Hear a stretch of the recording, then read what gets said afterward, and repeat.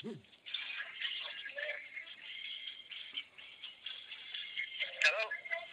I want to buy a pig. Hello? I want to buy a Hello? pig. Hello? How are you? Hello? I'm Terry Tibbs. I want to buy a pig. You do? Yeah. Mm. How much?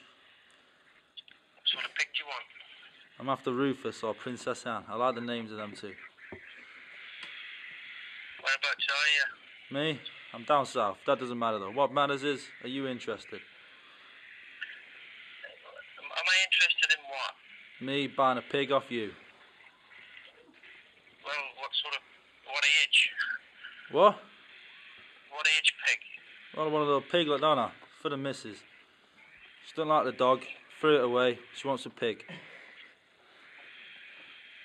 I haven't got one. You haven't got one? I'll tell you what, I'll do a part X for a goat. Do you know what?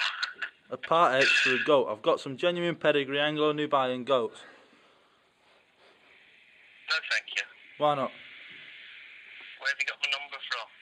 That doesn't matter. What matters is I'm making you an offer and you best take it. For the interest of us both. I'm a man of many words and today here are my words for you. Fuck off.